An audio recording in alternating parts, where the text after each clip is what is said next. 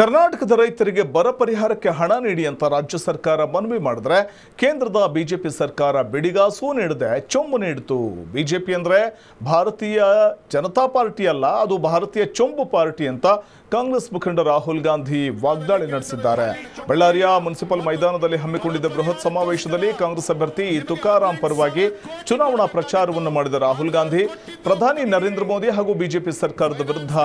ತೀವ್ರ ವಾಗ್ದಾಳಿಯನ್ನ ನಡೆಸಿದ್ರು ಇನ್ನು ಕೇಂದ್ರ ಬಿಜೆಪಿ ಸರ್ಕಾರ ದೇಶದ ಜನರಿಗೆ ಚೊಂಬು ನೀಡಿದೆ ಅವರು ದೇಶದ ನಾಗರಿಕರಿಗೆ ಏನೂ ಕೊಡಲಿಲ್ಲ ಅಧಿಕಾರದಲ್ಲಿದ್ದ ಹತ್ತು ವರ್ಷ ಯಾವುದೇ ಅಭಿವೃದ್ಧಿ ಕಾಮಗಾರಿಯನ್ನು ಮಾಡಲಿಲ್ಲ ಅಂತ ಟೀಕಿಸಿದ್ದಾರೆ चंबू पार्टी तो भाइयों और बहनों कांग्रेस पार्टी का पूरा समर्थन कीजिए और आखिरी बात मैं बेल्लारी को कहना चाहता हूं मैं यहां आया था चुनाव में मैंने आपसे कहा था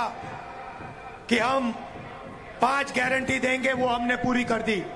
मैं जो कहता हूं मैं करके दिखा देता हूं मैंने बेल्लारी से एक और वायदा किया था मैंने कहा था कि बेल्लारी को दुनिया का जीन्स कैपिटल बनाया जाएगा ನಾನು ಹೇಳಿದ್ದೆ ಬಳ್ಳಾರಿಯನ್ನ ಇಡೀ ಭೂಮಿಯ ಜೀನ್ಸ್ ಕ್ಯಾಪಿಟಲ್ ಮಾಡ್ತೀನಿ ಎನ್ನುವ ಮಾತು ಕೊಟ್ಟಿದ್ದೆ और ये वायदा हम पूरा करके आपको दिखाने वाले हैं ಈ ಮಾತನ್ನ ನಾನು ಖಂಡಿತ ನಿಜ ಮಾಡಿ ತೋರಿಸ್ತೇನೆ यहाँ पे सबसे बेहतरीन अपैरल पार्क बनेगा और जीन्स कैपिटल बेल्लारी बनेगी ನಾನು ಅತ್ಯಂತ ಸುಂದರವಾದಂತ ಅದ್ಭುತ